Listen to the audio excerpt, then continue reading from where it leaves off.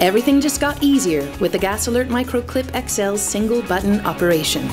This little button simplifies training, helps ensure tamper-proof operation, and makes your workday easy, even if you are wearing gloves.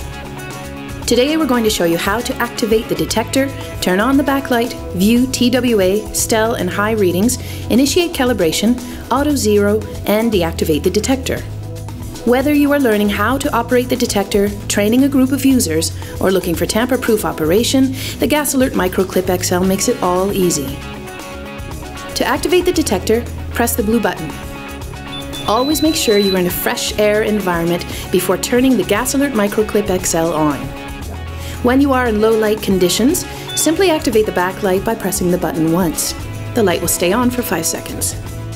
To view the TWA, STEL, and high readings, press the button twice.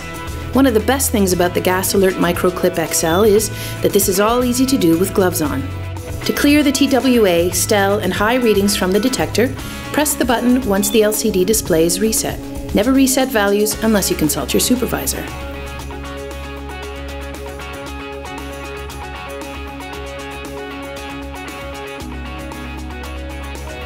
If you are manually calibrating or initiating Auto Zero for your Gas Alert MicroClip XL, get started by pressing and holding the button while the detector performs the off countdown. Continue pressing the button while the LCD briefly deactivates and then begins the CAL countdown.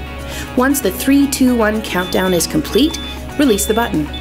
Auto Zero initiates once the countdown is complete. If you are calibrating, you will then be prompted to apply the calibration gas. Check out the calibration video for more in-depth information on calibrating your Gas Alert MicroClip XL. Lastly, Turn off the Gas Alert MicroClip XL by pressing and holding the blue button until the off countdown is complete and the LCD deactivates. Release the button.